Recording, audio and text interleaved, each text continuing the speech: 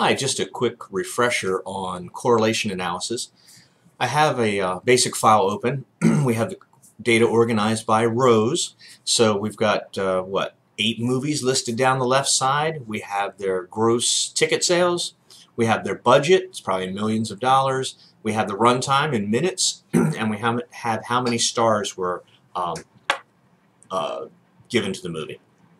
So a correlation analysis will let us know how each of these cells as pairs relate, relate together. So how much is increases in runtime related to increases in gross sales and decreases in stars and decreases in sales. So it's paired it's a paired analysis. So it'll tell us how strongly each of these or weakly they're related. So I'm just going to go over to data, data analysis. It's the old data analysis Toolpak it has an option of correlation in here. And once the, the window opens, it just wants to know where the data is. And in this case, I want to paint just the data, not the names of the movies, because it only runs correlation on numbers. And I'm going to keep my titles in it so I know which variable is which. So I'm going to turn labels in first row. And it's going to say grouped by column. It sounds right, yes, because the labels are in the first row, right across the top.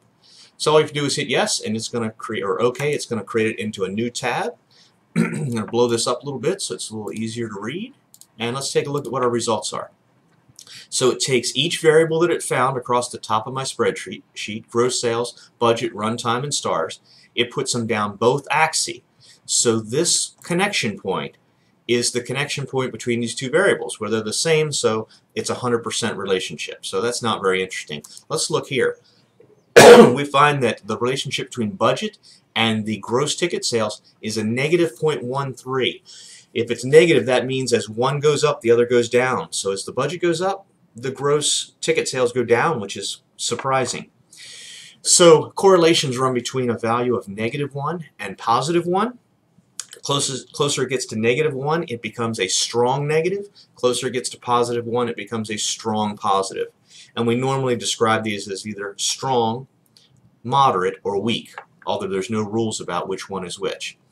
We see here that runtime and gross sales is related at a positive 0.25. So uh, I would consider that to be a weak positive relationship. As the movies get longer, the gross sales go up.